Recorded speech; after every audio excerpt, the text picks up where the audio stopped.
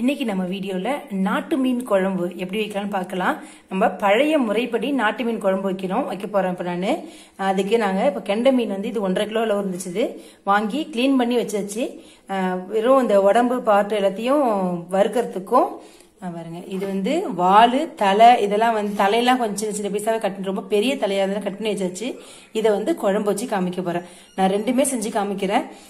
இதுக்கு வந்து நம்ம நார்மலா மிளகாத்தூள் போட்டு அப்படி வைக்க மாட்டோம் அந்த குழம்பு. எங்கள் எங்க பழைய அந்த பழைய முறைப்படி கிராமத்தில் சமைப்போம் அப்படின்னாக்கா காஞ்ச மிளகா வந்து அம்மியில வச்சு அரைப்போம். இன்னைக்கு நான் மிக்சியில அரைச்சு உங்களுக்கு எப்படி வைக்கிறதுன்னு செஞ்சு காமிக்கிறேன். வறுக்கிறதுக்கும் அதே மாதிரி. எப்படி வறுக்கலாம்னு செஞ்சு காமிக்கிறேன். அதுக்கு முதல்ல நம்ம மிளகா அரைக்கிறதுக்கு ரெடி பண்ணிடலாம். மிளகா அரைக்கிறதுக்கு வந்து முதல்ல நான் ஒரு இருபத்தஞ்சு அளவுக்கு மிளகா எடுத்து வச்சிருக்கேன். இதை நம்ம மிக்ஸி ஜாரில் சேர்த்துடலாம். சேர்த்துட்டு கூடவே ஒரு டீஸ்பூன் அளவுக்கு சீரகம். இதையும் இது கூட சேர்த்துக்கலாம். கொஞ்சமாக மிளகு சேர்க்கணும். ஒரு ஸ்பூன் அளவுக்கு மிளகு. இது எல்லாத்தையும் சேர்த்துட்டு ஃபர்ஸ்ட் நம்ம ட்ரையாக தண்ணி சேர்க்காம கொஞ்சம் நல்லா பவுடராக அரைச்சிட்டு அதுக்கப்புறமா தண்ணி சேர்த்து நம்ம நைஸாக அரைச்சி எடுத்துக்கலாம். மிளகா வந்து இந்த அளவுக்கு கரகரப்பாக அரைஞ்சிருக்குது. இப்போ இது நம்ம தண்ணி சேர்த்து அரைச்சிக்கலாம். இப்போ எங்கள் வீட்டில் வந்து ரொம்ப இது காரமாக இருக்குது அப்படின்றதுனால கொஞ்சமாக நான் தேங்காய் சேர்த்துக்கிறேன். முன்னாடி நான் சேர்க்க மாட்டோம். அந்த பழையபடி செய்யும்போது. இப்போ நான் இதில் ஒரு ரெண்டு ஸ்பூன் அளவுக்கு தேங்காய் சேர்த்துக்கிறேன். தேங்காய் துருவி வச்சுருக்கேன். அது சேர்த்துக்கிறேன். அது கூடவே ஒரு பத்து போல சின்ன வெங்காயம் உரிச்சு வச்சிருக்கேன். அதையும் சேர்த்து அரைச்சிக்கலாம். நான் முதல்ல அந்த வெங்காயம் வந்து கொஞ்சம் ஏன்னா திக்னஸ் அப்பதான் குழம்பு கொடுக்கும். வெங்காயத்தை வந்து நம்ம ஃபர்ஸ்டே சேர்த்து அரைச்சிட்டா ரொம்ப நைஸ் ஆயிடும். கொஞ்சம் குறை குறைன்னு வெங்காயம் தான் ரொம்ப டேஸ்டா இருக்கும். அதனால இதை அரைச்சிட்டு வந்துட்டு கடைசியா வெங்காயம் சேர்த்து நான் அரைச்சிக்கிறேன். மிளகாய் ஃபுல்லா அரைச்சி எடுத்தாச்சு. இப்ப சின்ன வெங்காயம் சேர்த்து நான் அரைச்சிட்டு வந்துடுறேன். சின்ன வெங்காயமும் சேர்த்து நல்லா நைஸா அரைச்சாச்சு. இப்போ நம்ம மீனுக்கு மசாலா சேர்த்து நம்ம பிரட்டி ஊற வச்சிடலாம். அதுக்கு நம்ம ரெடி பண்ணிடலாம் இப்போ. இப்போ நம்ம மிளகாத்தூள் சேர்த்துக்கலாம். நம்ம அரைச்சி வச்ச மிளகா சாந்து வறுக்கிறதுக்கு எவ்வளோ தேவையோ அந்த அளவுக்கு சேர்த்துக்கலாம். தேவையான அளவு உப்பு சேர்த்துக்கலாம். நல்லா நான் இதை மிக்ஸ் பண்ணி விட்டுருவேன். இப்போ நம்ம மீனை இதுல எல்லாம் பாருங்க இந்த மசாலா இதில் ஃபுல்லாக கோட் ஆகுற அளவுக்கு எல்லா மீனையும் நம்ம ஒன்று ஒன்றா நம்ம இதே மாதிரி கோட் பண்ணி அப்படியே ஒரு ஓரமாக அப்படியே வச்சுட்டே இருக்கலாம். ஒவ்வொரு மீனாக எடுத்து நம்ம எல்லா மீனையும் இதே மாதிரி பாருங்க மசாலா கோட் ஆகுற மாதிரி எல்லா மீனையும் நல்லா ஃபுல்லாக கோட் பண்ணிட்டு இல்லை அப்படியே வேணா போட்டு பெசரிக்கலாம். நம்ம எப்படின்னா நல்லா அதை கோட் ஆகும்னு கோட் பண்ணிட்டு இருக்கேன். எல்லா மீனையும் இதே மாதிரி மசாலா ஃபுல்லா படுற மாதிரி நல்லா பாருங்க இப்படி பெசரிட்டு ஒரு அரை மணி நேரத்துல இருந்து ஒரு மணி நேரம் வரைக்கும். நான் ஃப்ரிட்ஜில் வெறும் வெறுமனே ஃப்ரீசர் வைக்கூடாது ஃப்ரிட்ஜில் சும்மா ஒரு அரை மணி நேரம் வச்சு எடுத்தாக்க சீக்கிரமா நல்லா உள்ள ஊறிடும். அதனால நான் ஃப்ரிட்ஜில் வச்சு இதை எடுத்துட்டு வந்து அதுக்கப்புறமா வறுக்கலாம். நாட்டு மீன் குழம்பு வைக்கிறதுக்கு புளி ஊற வச்சிடலாம். இது வந்து ஒரு பெரிய நெல்லிக்காய் சைஸ் புளி. நான் ரொம்ப அழுத்தி பிடிக்கல புது புளின்றதுனால நான் அப்படியே தான் ஊற வைக்கிறேன். இப்போ இதை நம்ம தண்ணி ஊற்றி ஊற வச்சிடலாம். புளி நல்லா ஊறிடுச்சுது. புளியை இப்போ நம்ம கரைச்சி எடுத்துக்கலாம்.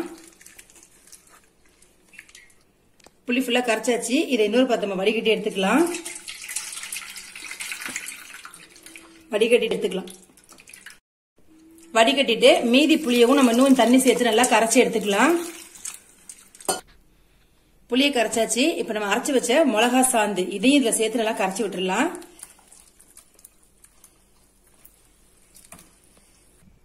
இந்த மிக்ஸி ஜாரையும் நம்ம நம்ம இந்த புளிக்க தண்ணி இருக்குல்லையா அதே கொஞ்சம் ஊத்தி நல்லா கழுவி சேர்த்துக்கலாம். அதில் உள்ள மிளகா சந்து ஃபுல்லாகவும் நம்ம நல்லா கழுவிட்டு இதில் சேர்த்துடலாம்.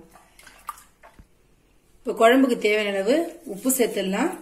உப்பு சேர்த்துட்டு ரெண்டு தக்காளி நான் சின்ன சின்னதாக கட் பண்ணி வச்சிருக்கேன். அந்த தக்காளியும் இது கூட சேர்த்துடலாம். மூணு பச்சை மிளகாவை சின்ன சின்னதாக கட் பண்ணி வச்சிருக்கேன். அதையும் இது கூட சேர்த்து நல்லா கரைச்சி விட்டுட்டு ரொம்ப தக்காளிலாம் கரைக்க தேவையில்ல. இப்படியே போட்டுடலாம். போடும்போதே அது வெந்துடும் இப்போ நம்ம குழம்பு ரெடி பண்ணி கூட்டியாச்சு. குழம்பு கூட்டி வச்சாச்சு இப்போ நம்ம குழம்ப தாளிச்சிடலாம். குழம்பு தாளிச்சிடலாம். கொஞ்சமா என்ன சேர்த்துக்கலாம்.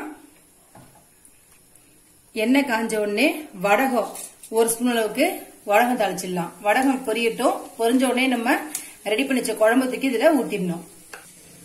வடகம் பொரிஞ்சிருச்சுது. இப்ப நம்ம ரெடி பண்ணி வச்ச குழம்ப ஊத்திடலாம் அதுல.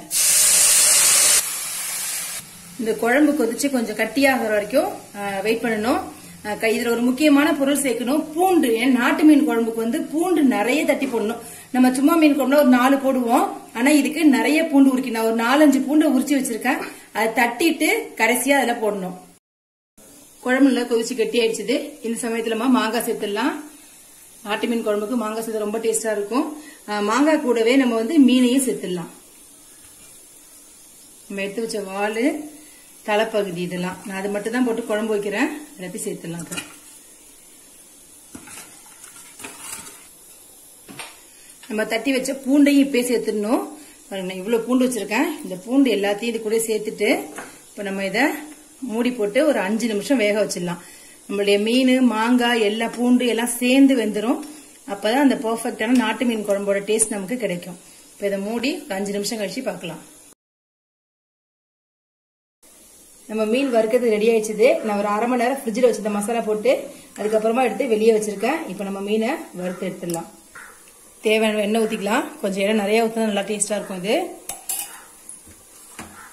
நம்மளுடைய மீன் ஸ்லைஸ் எடுத்ததில் வச்சிடலாம்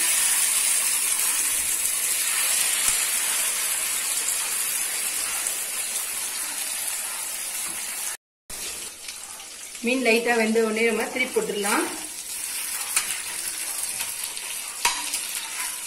அப்பதான் வந்து நல்லா அந்த எண்ணெயோட சேர்ந்து மசாலாவும் எல்லாம் சேர்ந்து ஒன்னா வெந்து வரும்.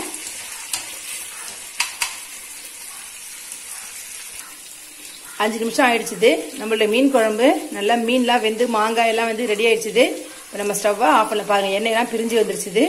உங்களுக்கு பிடிச்சல அப்படின்னாக்கா நீங்கள் தேங்காய் வேணா அவாய்ட் பண்ணிக்கலாம். நானும் தேங்காய் சேர்க்க மாட்டேன். இப்போ இல்லை எங்கள் வீட்டில் காரம் பிடிக்கலன்றதுல கொஞ்சமாக நான் தேங்காய் சேர்த்துருக்கேன்.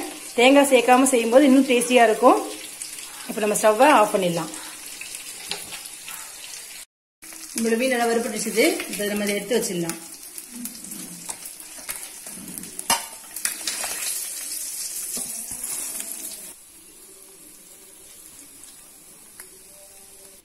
இப்போ நம்ம மீதி இருக்கிற மீனையும் வறுத்து எடுத்துடலாம்.